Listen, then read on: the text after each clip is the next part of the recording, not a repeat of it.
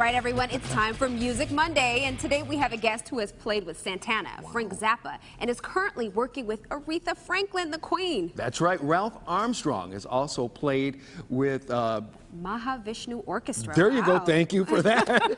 he has a new CD that's just out called Detroit Rising with six new or nine new tracks. That's right, and here he is now playing Blue Mashed Potato. Woo!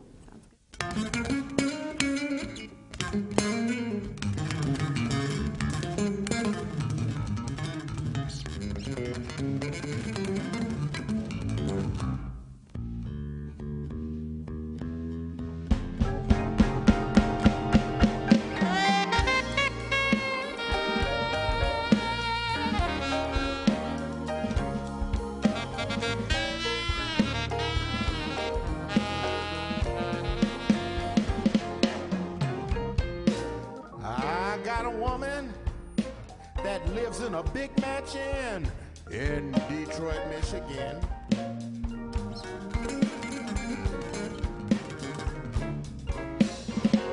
She likes to make me dinner at night. She likes to kiss and fight. Yes, she does. But when I eat her food, know, she starts to look alright.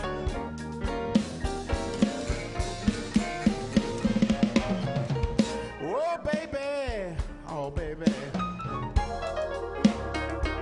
Please tell me why the mashed potatoes blue. The more I eat, the more I eat.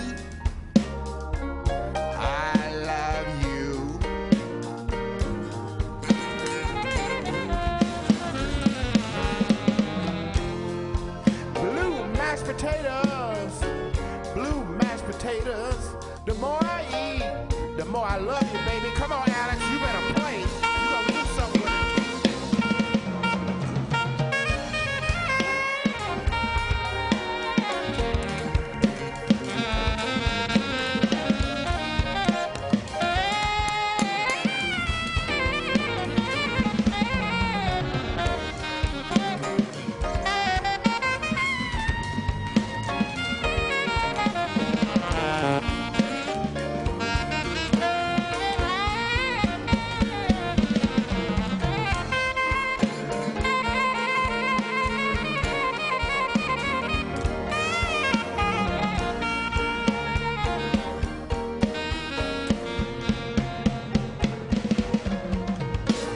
she makes me dinner, she starts to look alright. That's when we start to kiss and turn out the lights. Oh, baby. Please tell me why the mashed potatoes blue.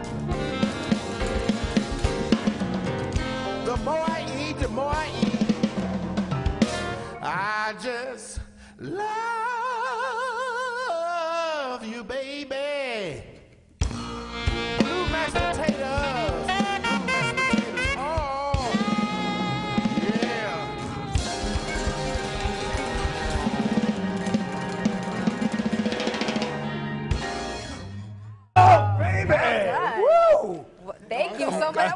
was great. Again, everyone, the name of the CD here. is Detroit Rising. There are nine different tracks on the album, including Detroit Blues and Cruise in the D.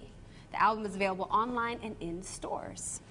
Yes, welcome, Well, thank you. Ralphe to see you, Ralphe. It's good to be home in So you guys know each other? Yes, we've Yeah, seen okay, yes, a little something. seen- Yeah.